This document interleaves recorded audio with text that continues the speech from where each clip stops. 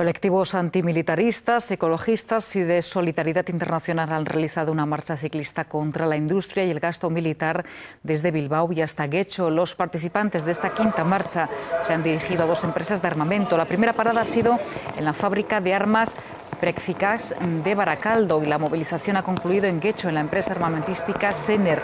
Esta última colabora con una empresa de armas de Israel y con esta marcha han querido denunciar las implicaciones de las instituciones y de las empresas de armas vascas en los ataques a Palestina.